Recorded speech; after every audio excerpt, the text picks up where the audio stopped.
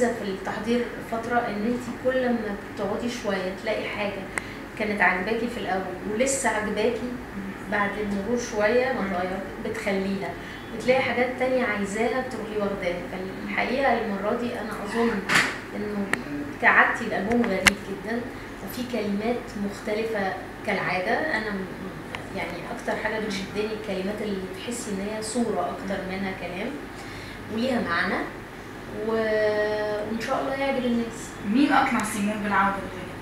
ما حدش أقنعني بالعودة. ده سؤال ب... ب... ب... أغلب الناس فاكراه. أنا موجودة كغنى وكحفلات للناس اللي متابعة ال... السوق الغنائي.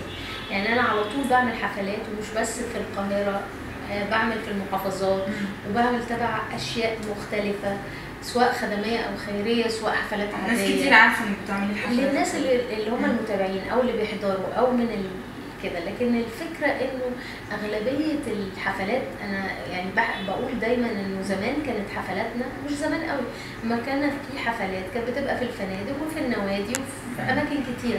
كانت بتتصور بتتصور من التلفزيون بتاعنا التلفزيون المصري أو لو كانت لسه قنوات طالعة جديد فبتتنقل من القنوات. فكان بيبقى قدامك في الحفلة التلفزيون والقنوات. دلوقتي بقى نادرا ما تلاقي حفلة متذاعة. إلا لو هي حفلة تبع القناة دي أو واخدة حصريا إن هي تذاعها أو لمناسبة معينة. لكن